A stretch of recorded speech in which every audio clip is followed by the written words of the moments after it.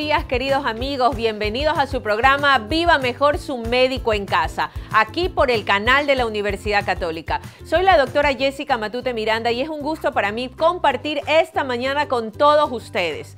Queremos conversar con nuestra especialista invitada sobre el asma. ¿Cuáles son esas características? ¿Quién tiene riesgo de tener esta enfermedad? ¿Cuáles son esos factores de riesgo que tal vez desencadenan los síntomas o las características típicas de esta enfermedad del asma? Pues los vamos a conocer con nuestra especialista de lujo invitada del día de hoy. Así que primero los vamos a invitar a ver una pauta y enseguida regresamos a presentarle a nuestra especialista aquí en el programa de Viva Mejor.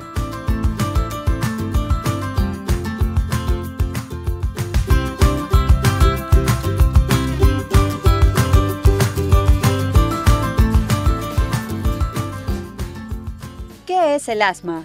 El asma es una enfermedad crónica que afecta las vías respiratorias. Estas son tubos que llevan el aire hacia adentro y afuera de los pulmones. Si padece de asma, las paredes internas de sus vías respiratorias se inflaman, se estrechan y se recibe menos aire. Causas. Los desencadenantes comunes son animales, la caspa o el pelaje de las mascotas, ácaros del polvo, Ciertos medicamentos. Cambio en el clima con mayor frecuencia al frío. Químicos en el aire o en los alimentos. Ejercicio. Polen, infecciones respiratorias como el resfriado común, emociones fuertes como el estrés o el humo del tabaco. Síntomas. Tos con o sin producción de esputo, es decir, flema. Retracción o tiraje de la piel entre las costillas al respirar dificultad para respirar que empeora con el ejercicio o la actividad.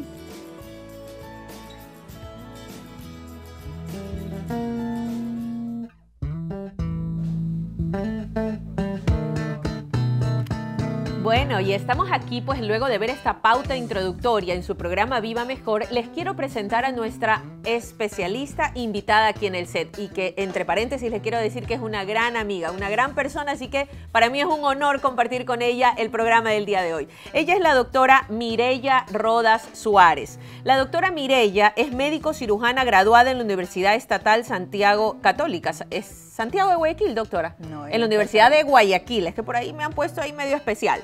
Especialista en neumología de la Universidad de Buenos Aires de Argentina, directora del Laboratorio de Fisiología Pulmonar Neumos. Es miembro de la Asociación Latinoamericana del Tórax, ALAT médico del staff de especialistas del Hospital Alcíbar, es directora de posgrado de medicina de la Universidad de Espíritu Santo y además tiene pues su consultorio médico en la Clínica Alcíbar en el Centro de Especialidades número 4. Entonces realmente para nosotros la doctora Mireya Rodas es la especialista indicada para tratar pues de este tema del asma y todas sus consecuencias, efectos, síntomas. Doctora Mireya, qué gusto tenerla aquí en el set de Viva Mejor igualmente para sí, Yo me acuerdo, no sé si nuestros amigos televidentes que hace algún tiempito atrás también nos acompañó hablando de un tema interesante en neumología. Realmente esto del asma está muy en boga, doctora.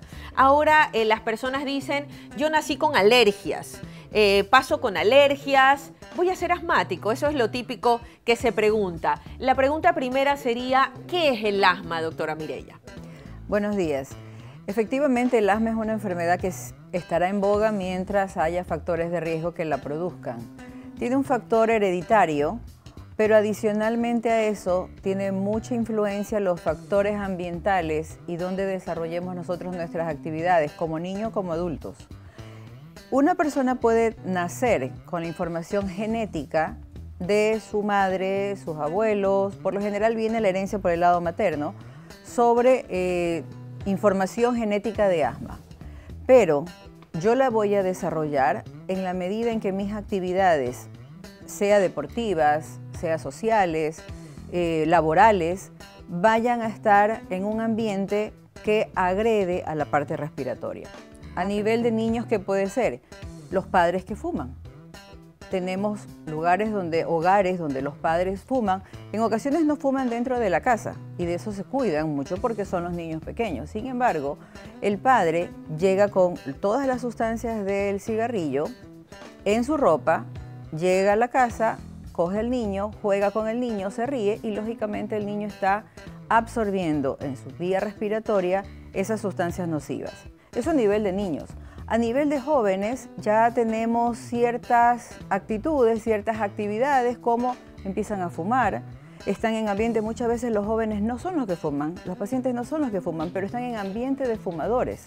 Se hacen reuniones en las casas, porque ya en las discotecas, en los lugares nocturnos, por ahí no, no se fuma, pero en casa sí se hace eso y entonces el chico va a las reuniones, va a la fiesta y a la mañana siguiente amanece con síntomas.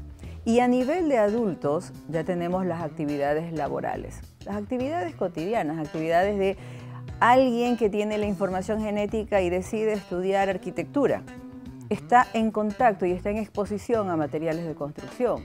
O alguien que trabaja en una empresa de pinturas donde hay químicos con los cuales se preparan las pinturas y si no hay, no se utiliza protección, pues lógicamente eso va a desarrollar. Hay una serie de actividades que siempre es bueno que el médico cuando está en la consulta con un paciente con síntomas, como los acabamos de mencionar, se los vio en el video, pero algunos síntomas de los que se mencionó en el video, por ejemplo, cuando se hablaba del tiraje intercostal, que es el hundimiento de las costillas, eso ya estamos hablando de una severidad extrema. Tal vez un periodo de crisis en ese rato. Es, pero incluso dentro de las crisis asmáticas tenemos niveles de severidad. Yo puedo estar en crisis permanente porque solamente tengo tos, tos seca. Lo característico es la tos seca en un paciente asmático. Que puede haber tos con expectoración, con flema, como lo decía el video, sí. ¿Cuándo? Cuando se añade o cuando el desencadenante de la crisis ha sido una infección viral o bacteriana. ¿Por qué? También hay que saber reconocer lo que los factores que mencionamos antes son factores para desarrollar asma o para que el asma esté presente. Pero adicionalmente a eso hay factores que desencadenan una crisis. Y entonces el paciente tiene que estar muy pendiente y cuando hablamos de niños, la mamá tiene que estar siempre pendiente de esa tosecita crónica, ese garraspeo frecuente en el niño no tiene por qué ser normal y tiene que considerárselo como es una costumbre de él hacerlo. Hay que buscar la causa. Puede ser una rinitis que no está controlada y la rinitis está en relación con el asma.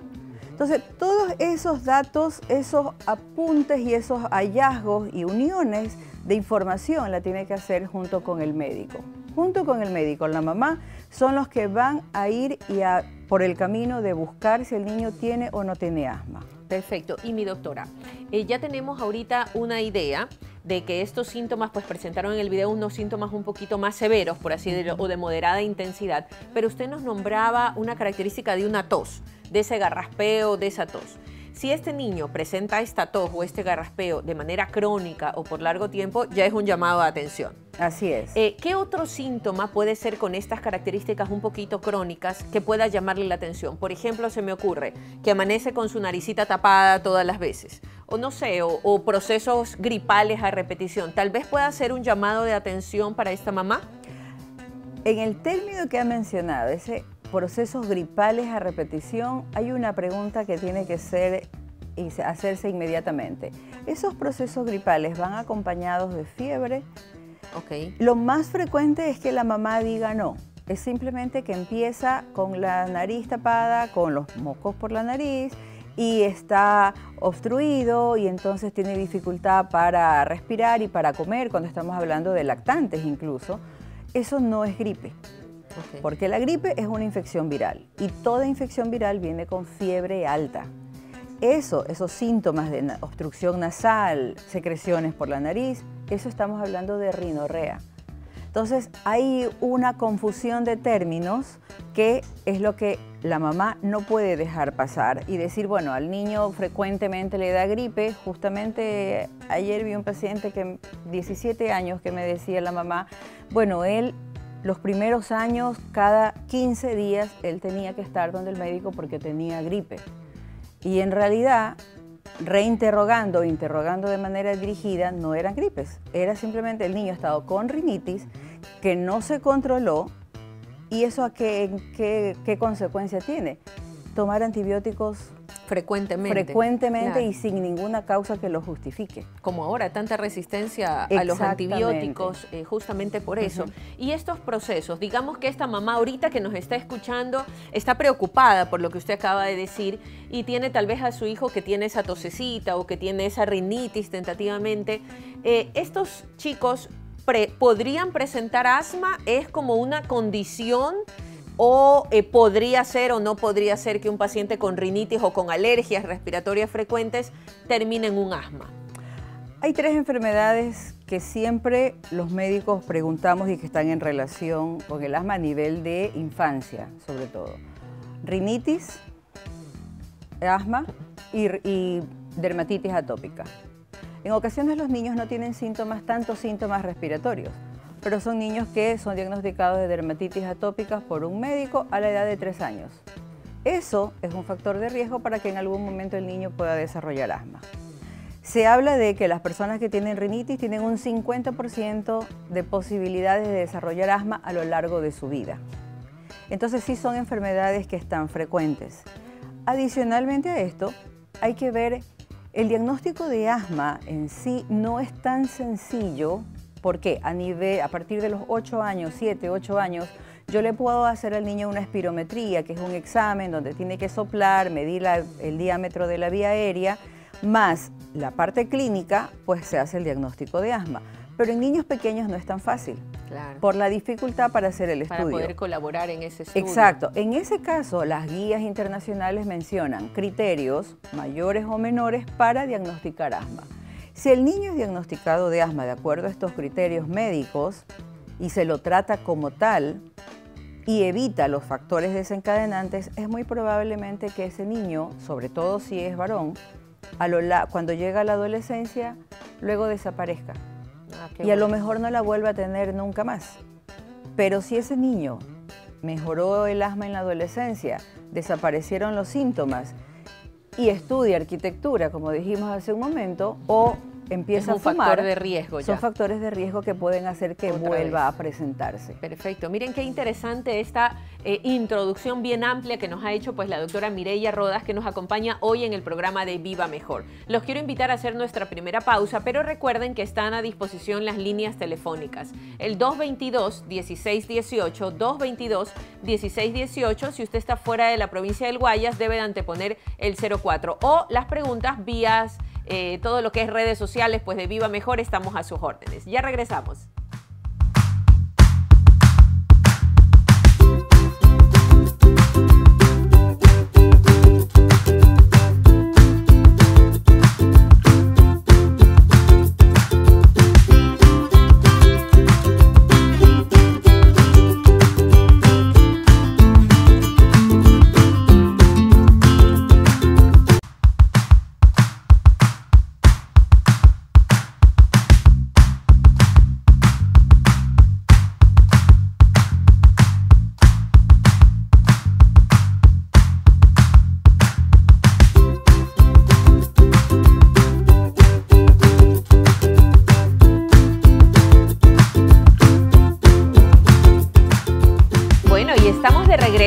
Programa Viva Mejor su médico en casa y estoy acompañada de la doctora Mireya Rodas. Ella es especialista en neumología y nos está comentando sobre la enfermedad del asma, sus características, sus síntomas, puntos llamativos para que usted, mamita o papito en casa, pueda llamarle la atención de qué es lo que está ocurriendo con su hijo y pueda tener una consulta diagnóstica. La doctora nos comentaba que una vez que usted lleva a su hijo, a su familiar a la consulta, va a realizar una serie de exámenes. Comenzó hablando un poquito de la espirometría en niños por arriba de 8 añitos, doctora, ¿verdad? Y en los menores de 8 años ya ellas como especialistas pues ya realizan otros criterios, analizan esos criterios para diagnosticar el asma. ¿Podríamos hablar un poquito más al detalle, doctora Mirella, sobre este procedimiento de la espirometría?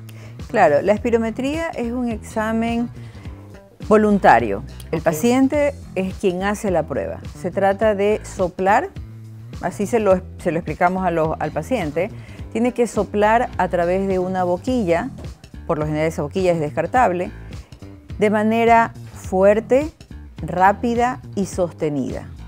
Se habla de criterios para aceptar una maniobra espirométrica y entre esos el tiempo de duración es de 6 segundos. 6 segundos cuando lo hablamos así puede sonar poquito tiempo, pero para quien está haciendo la espirometría le parece una eternidad y de hecho en ocasiones, sobre todo cuando el paciente tiene rinitis, le cuesta un poco más realizar bien la maniobra. Tiene que hacerse bien la maniobra, hay ciertos criterios para aceptar un estudio espirométrico y luego de ahí viene la interpretación. ¿Qué es lo que nosotros vamos a ver? Hay un parámetro que está disminuido, que se llama el volumen expiratorio forzado en el primer segundo. Eso indica que la vía aérea de mayor tamaño, la tráquea, los bronquios principales, están disminuidos. ¿Por qué se disminuyen? Por inflamación se disminuye porque los músculos, el músculo liso que está alrededor del tubo de la vía del bronquio se cierra ante cualquier estímulo de estos que mencionamos. Luego de eso se hincha y aparece moco. Entonces, todos esos factores disminuyen la luz del bronquio. Cuando es el, el, equivalente a que si yo soplo a través de un tubo de un gran calibre o de un sorbete, por más que yo haga el esfuerzo, no va a salir la misma cantidad de aire. Entonces la máquina lo que hace es transformar en números esto que el paciente le está enviando. Y de esa manera yo puedo determinar si hay una obstrucción de la vía aérea, que se llama. Por eso es importante que la persona que hace la espirometría se tome su tiempo en indicarle y hacerlo, inclusive junto con el paciente. A nivel de jóvenes se nos complica un poquito más, digo yo, porque están con el temor, el miedo a de que los vean soplar, a que, a que se equivoquen, etc. Pero cuando ellos ven que uno lo hace con ellos juntos, no hay ningún problema. Claro, eso es importante, darle como la confianza para que ellos puedan colaborar, porque como usted dice, es una prueba que necesita mucho la voluntad de la persona. Así es, lo hace el paciente. Y si ya tenemos la espirometría, tal vez hay algún otro examen que se sugiera realizar, doctora Mirella, en estos pacientes que se sospecha asma o sus procesos alérgicos? Sí, eh, últimamente se habla mucho de los fenotipos, se dicen en medicina, que son como que son, hagamos un ejemplo, tres pacientes asmáticos todos son asmáticos, pero cada uno se presenta de diferente manera. Un paciente tiene silbidos, los famosos silbidos que solemos escuchar cuando el bronquio está cerrado. Otro paciente se queja de falta de aire, de que siente que no puede respirar. Y el otro paciente tiene tos. Más o menos es un ejemplo así, a grosso modo, de que hay diferentes tipos de pacientes que tienen la misma enfermedad. Entonces no significa que porque mi familiar o incluso yo no tenga los silbidos, no voy a ser asmática. Si yo tengo esa tos seca, permanente, de más de tres semanas, yo estoy obligada a investigarme sobre esto, más aún cuando tengo antecedentes familiares. Puede sonar como que no es tan fácil, pero por eso está el médico y los especialistas que están en esta enfermedad. Junto con esto, hay otros exámenes que pueden ayudar a identificar y a catalogar el paciente en qué grupo está. Por ejemplo, hay un examen que se llama examen de moco nasal, donde uno pide los tipos de células, así como cuando uno se ha hecho un hemograma, un examen de sangre que le dicen si hay eosinófilos, linfocitos, neutrófilos, etcétera, etcétera. En el moco nasal también pedimos ese contagio celular y si los eosinófilos, y este nombre sí sería bueno que lo grabemos, eosinófilos están en relación con alergias o si fuera en sangre también podrían ser parasitosis que en nuestro medio es común. Y también se pide un examen en sangre que es la inmunoglobulina E sérica total. Si esto está elevado también me habla de alergias. ¿Para qué me sirve y para qué le sirve al médico esto? Para saber si este paciente se va a favorecer, además de los aerosoles que todos estamos acostumbrados a, utilizar, a utilizar, con ciertos otros medicamentos, pero de ninguna manera estos otros medicamentos van a reemplazar al medicamento que es el eje principal en el tratamiento del asma, que son los corticoides inhalados. Perfecto. Hay una, me adelanto un poquito tal vez en el tratamiento, hay un temor eh, cuando sacamos al aire pues el tema, ya por ahí nos comenzaban a hacer algunas preguntas y ahorita que usted nombró a los corticoides inhalados, hay una pregunta que estaba, que lo habían hecho en redes y me comentaban sobre qué pasa eh, con estos corticoides inhalados. Eh, eso todo el mundo le tiene miedo ahora al corticoide. O sea, está como en internet, que el corticoide le va a subir de peso, que el corticoide baja las defensas, etcétera, etcétera, etcétera. La pregunta sería, eh, como estos pacientes probablemente tengan que usar un tiempo mediano o prolongado este tipo de medicamentos, ¿esto puede ocasionar daños a la larga en su persona o realmente eh, bueno, sí lo puede hacer, pero a la final necesita urgentemente hacerlo y no se lo puede cambiar. No sé si podríamos orientar un poquito a nuestros amigos con este tema. Desde hace mucho tiempo está el tabú del uso de los corticoides y tenemos que reconocerlo que hasta ciertos profesionales les cuesta mantener los corticoides en un paciente asmático. Pero la definición de asma es una enfermedad inflamatoria obstructiva de la vía aérea todo lo que sea de inflamación a nivel de la vía respiratoria, lo único que lo contrarresta son los corticoides.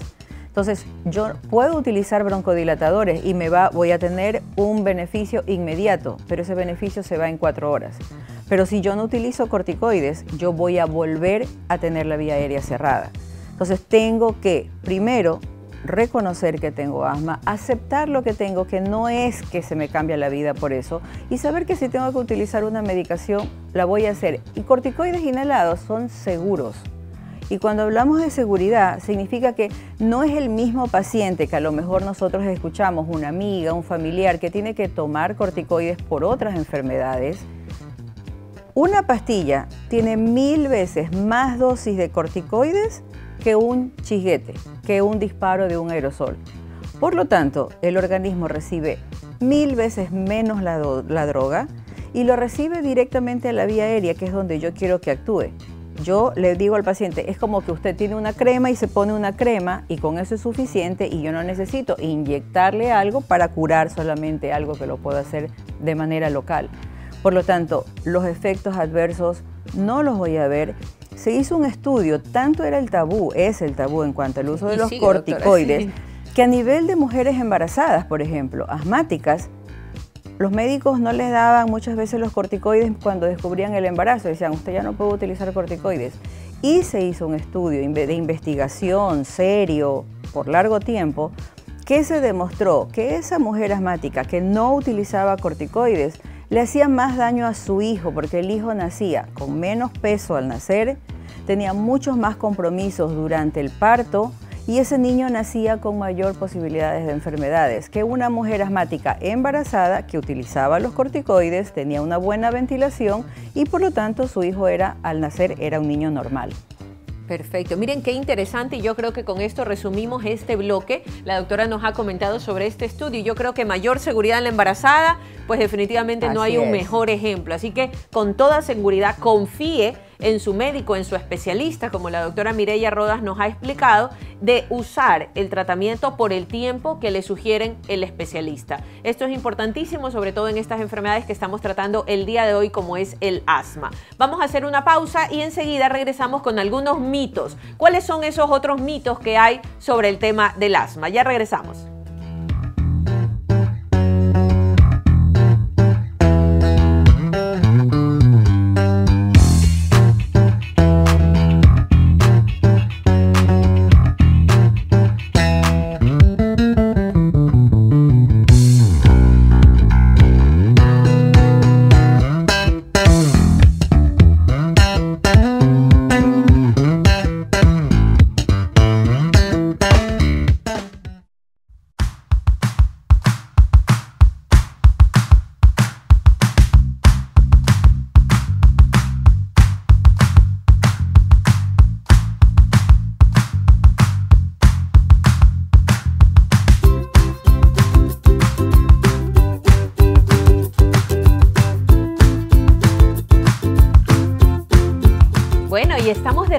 En este tercer bloque en su programa Viva Mejor su médico en casa. Y estoy acompañada de la doctora Mireya Rodas, ella es neumóloga y hemos estado conversando sobre el asma. Pero en este bloque quisiera hablar de mitos. ¿Cuáles son esos mitos que nos, ustedes nos han comentado por las redes sociales, que hemos escuchado de nuestros familiares, que al final usted también lo tenga como un mito, como una pregunta, ¿no? Decir, bueno, ¿será cierto o será falso? Así que los invito a ver este primer mito en pantalla para conversarlo con la doctora Mirella, a ver si es cierto o no.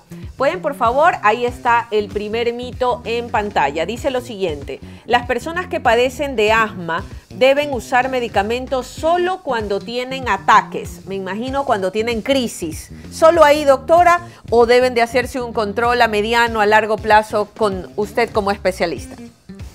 A ver, eh, tenemos diferentes tipos de pacientes con asma, como lo dijimos.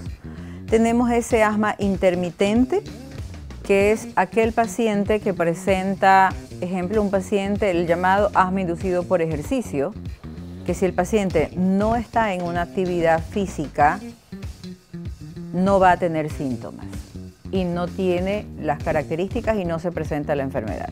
Ese podría considerarse como un tipo de asma intermitente. En ese paciente podríamos, y de hecho se indica, cierta medicación antes de que el paciente haga esta actividad. ejercicio. Sin embargo, no tenemos que minimizar los síntomas, porque yo puedo decir, bueno, solamente ahí, pero resulta que después tengo esa tos crónica, me cuesta subir escaleras y eso también son síntomas de asma. Lo que yo quiero dejar de mensaje es que no seamos nosotros, cada uno, el paciente o la mamá, quien decida qué tipo de asma tiene.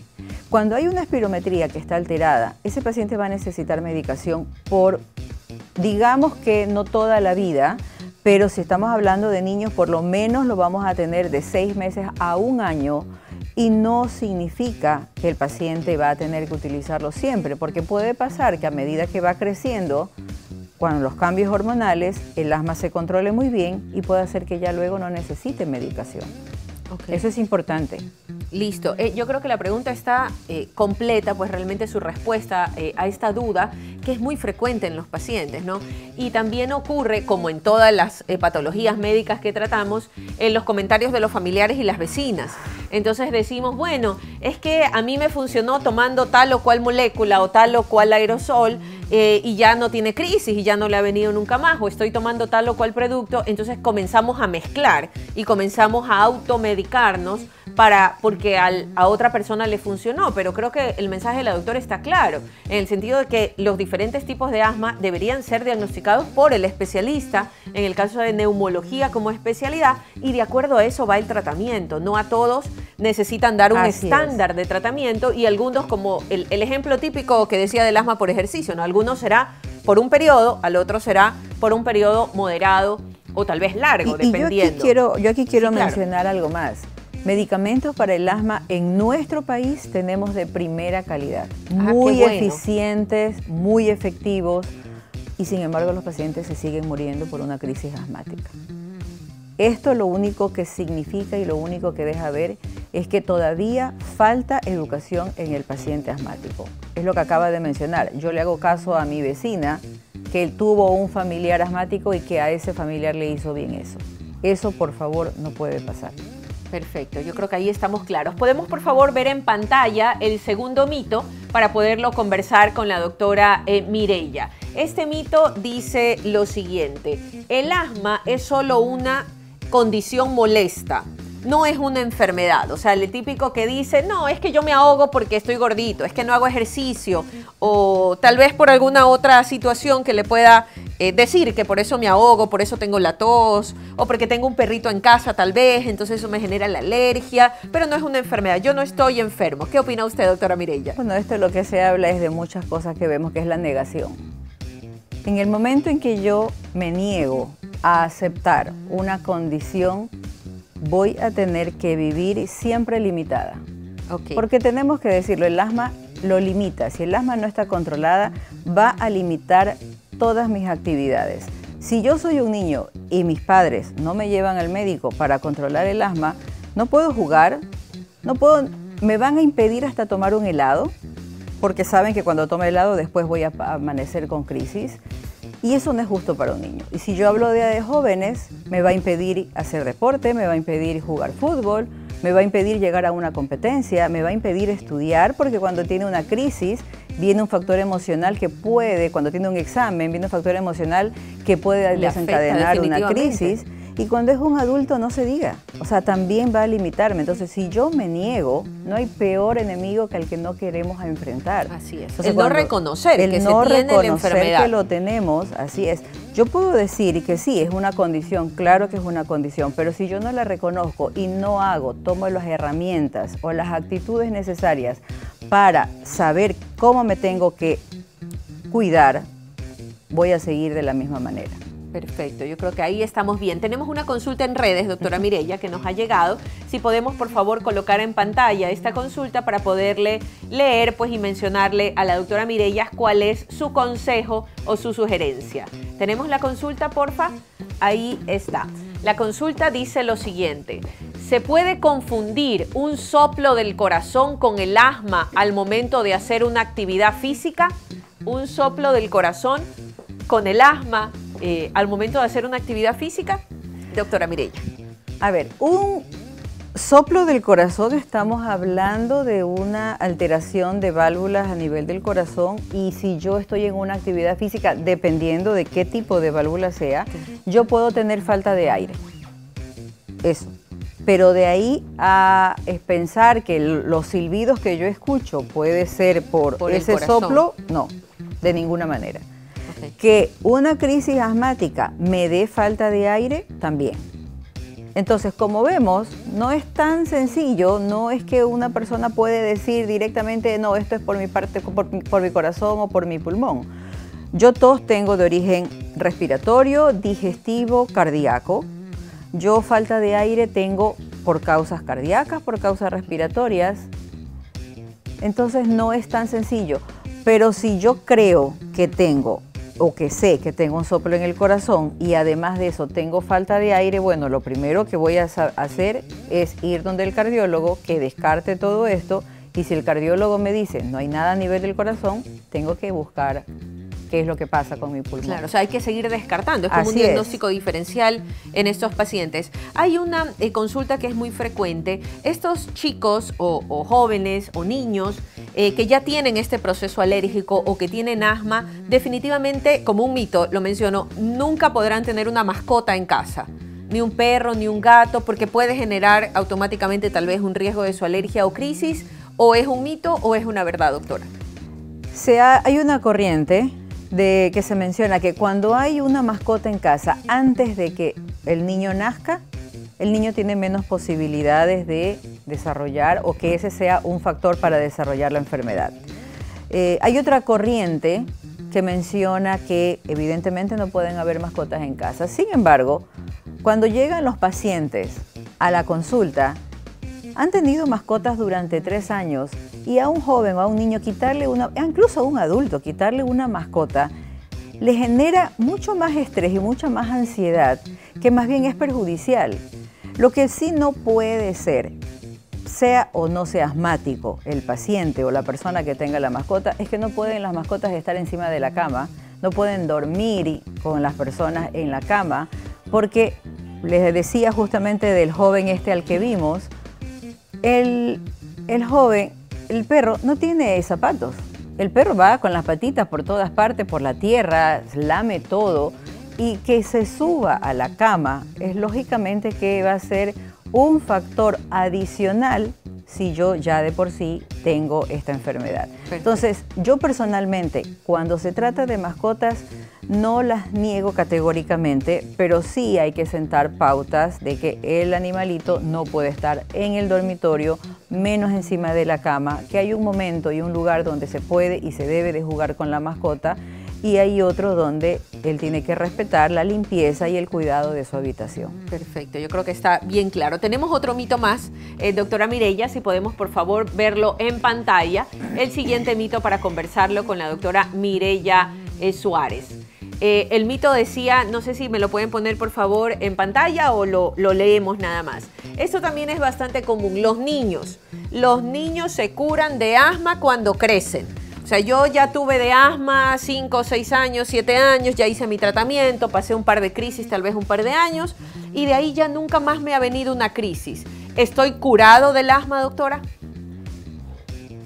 En cuanto a curación, así mismo en asma no está nada categórico, Pero sí puedo decirles que dos terceras partes de los niños que tienen asma, cuando llegan a la adolescencia, se controlan muy bien. Algunos se controlan tan bien que nunca más tienen síntomas.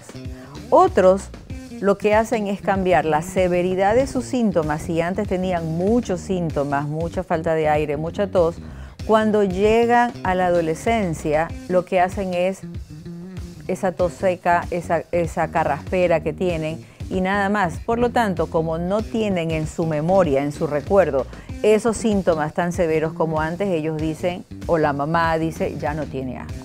Lo que yo sí quisiera también puntualizar es que no relacionemos solamente que el asma aparece en la infancia y desde ahí se puede quedar asmático en adulto. No, el asma puede aparecer en la edad adulta no haber sido asmático o no haber tenido síntomas durante la infancia o la adolescencia y sin embargo en la edad adulta los tiene. Perfecto. Entonces el puede, asma puede venir una crisis después. puede aparecer a cualquier edad. Claro. Y usted también, como lo mencionaba, ¿no? Con esos há- hábitos eh, o esos factores de riesgo alrededor, con esto de se estudia con estos materiales de construcción, o sea, puede ser un desencadenante.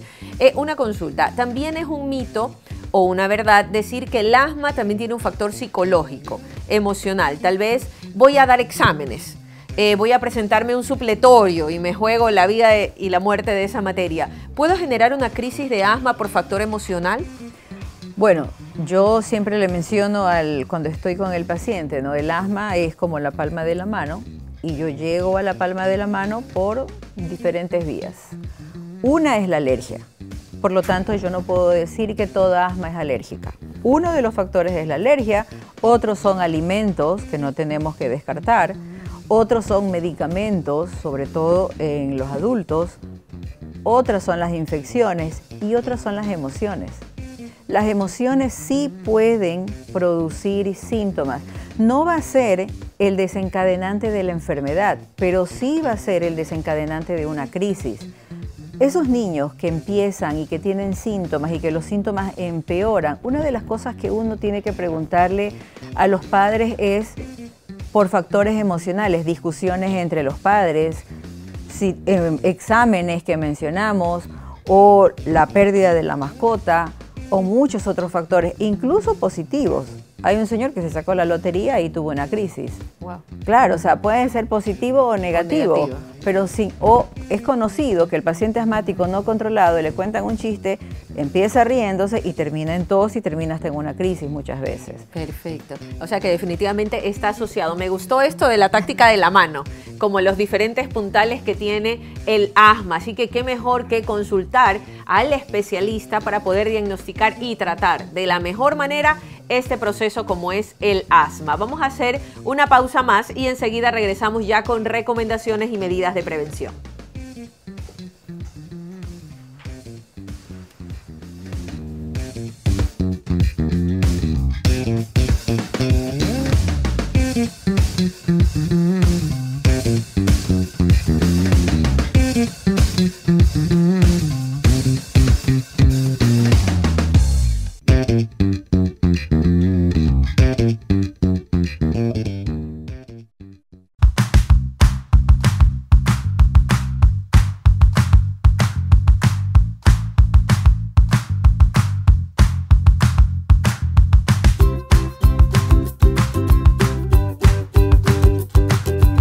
En este último bloque, queridos amigos, con la doctora Mireya Rodas, quisiéramos darles algunas recomendaciones. ¿Cuáles son esas recomendaciones que nuestra especialista quiere darles a todos ustedes para ayudar a controlar de mejor manera a este paciente con asma, este paciente con esta enfermedad para evitar esas crisis, para evitar esas reagudizaciones, que es lo que más complica o que puede complicar gravemente al paciente? Doctora Mireya, ¿cuáles son esas recomendaciones?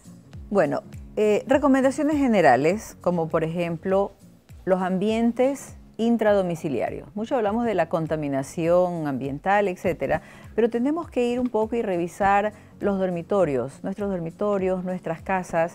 Tiene que haber circulación de aire. Ahora estamos muy acostumbrados a que estén todas las ventanas cerradas siempre, eh, con el aire acondicionado prendido y nada más. No, en algún momento tiene que abrirse las ventanas, apagar el aire, tiene que haber circulación de aire, no hay nada mejor que eso. Eh, aspirar, lo ideal es aspirar o pasar un trapo húmedo, no levantar el polvo, porque eso sí puede, si hay alguna persona que tenga esta condición, esta enfermedad, pues lógicamente va a estar afectada. Por eso siempre a la pregunta de qué es mejor, el ventilador o el aire acondicionado, pues el ventilador es mejor. El ventilador no se debería de usar, perdón, porque el ventilador enfría el ambiente con turbulencia, sacando polvo de las esquinas, aun cuando la mamá ha limpiado muy bien.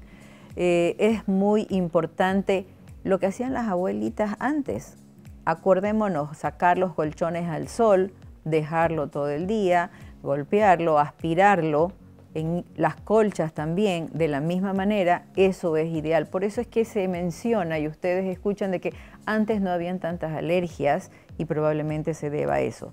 Eh, sí hay en ocasiones necesidad, se recomienda acaricidas, hay unos productos que hay productos naturales. Felizmente ya tenemos nosotros aquí en nuestro medio productos naturales para los ácaros, que también pueden ayudar.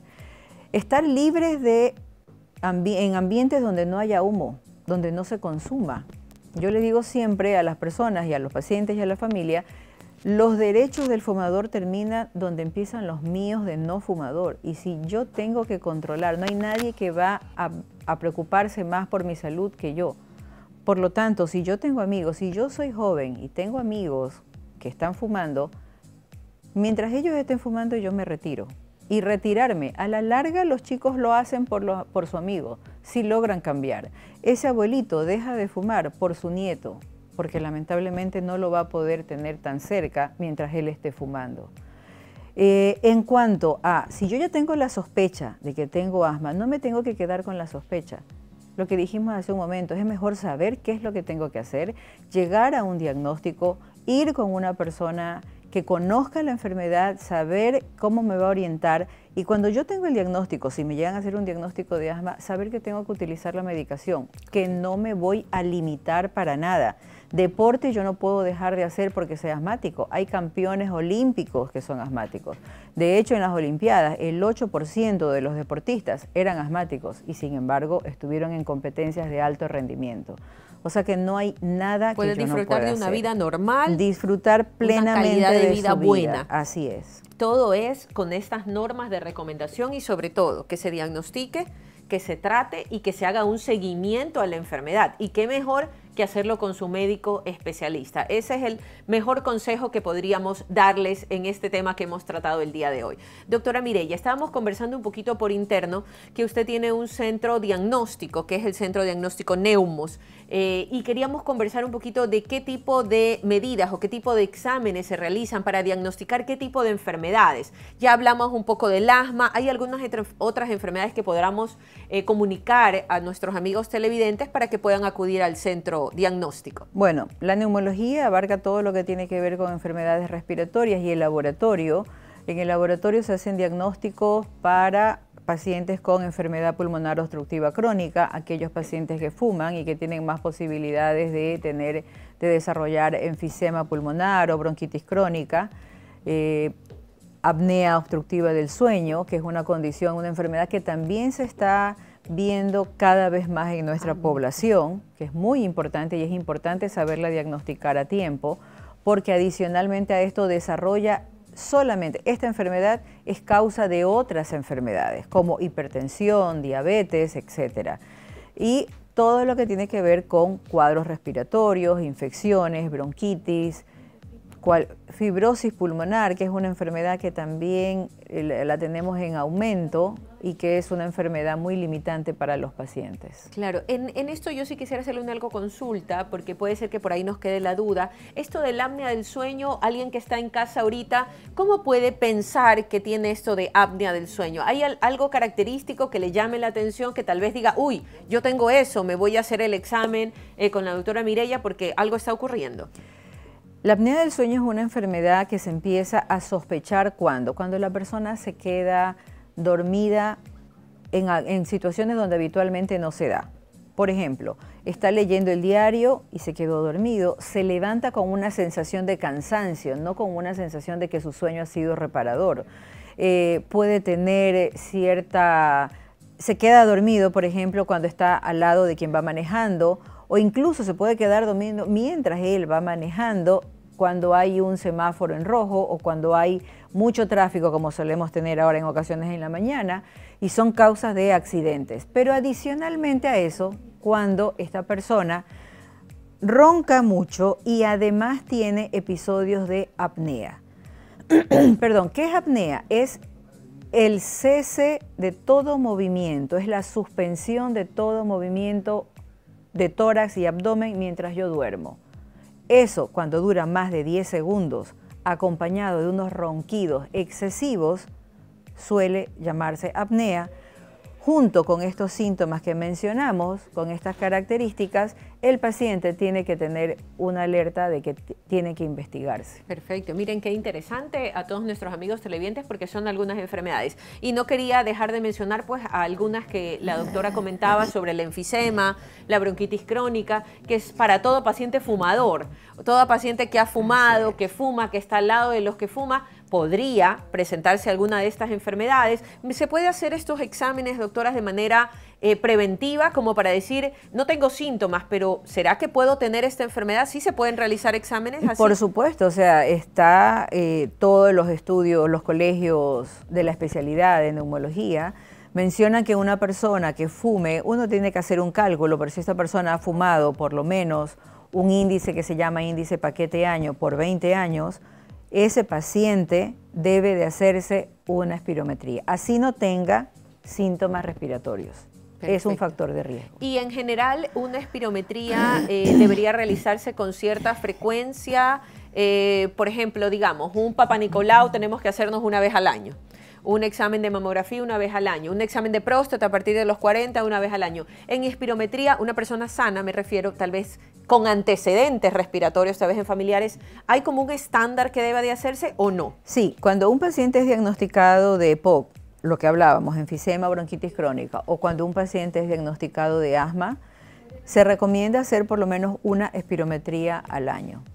Y adicionalmente, si el paciente ha tenido una crisis, pues luego de tres meses debería de hacerse para saber cómo quedó su capacidad pulmonar en relación a esa crisis. Un paciente que tiene una fibrosis pulmonar, que también se altera la espirometría, otros parámetros, pero también la altera, pues también debería de hacerse un seguimiento. Es como un paciente diabético, a nadie se le ocurre solamente tratar al paciente diabético por la primera vez y nunca más hacerle un control. Es, es un seguimiento, definitivamente como todas las enfermedades. Doctora Mirella, un gusto tenerla aquí en el programa, espero nuevamente nos venga a acompañar aquí en el programa de Viva Mejor su casa. A todos ustedes, queridos amigos televidentes, no quisiera sin antes eh, despedir el programa, invitarlos a que sigan nuestras redes sociales, tanto en Instagram como en Facebook, porque estamos, vamos a hacer un sorteo por el Día de las Madres. Así que ahí hay una publicidad que ustedes lo van a ver, que es el giveaway, el giveaway, eh, que definitivamente ahí hay una serie de eh, regalos que se pueden llegar todos ustedes, para usted, para su mamá, para su abuela, para su hermana, para su esposa. Así que síganos en redes sociales y concurse, porque con mucho cariño el programa de Viva Mejor quiere homenajear a la reina del hogar, pues a todas las que somos mamitas. Así que los invitamos, no se olviden también que nuestro programa está todos los días de 9 a 10 de la mañana y el reprise a las 7 de la noche. Así que si quieren reprisar aquí el programa o sugerirlo, a las 7 de la noche lo pueden ver. Miren qué rico se ven esos premios. Así que definitivamente aprovechenlos y síganos en nuestras redes sociales. Que tengan un bendecido feriado. Ahora sí, feriado, feriado. Bendecido feriado a todos ustedes. Nos vemos la próxima semana. Chao.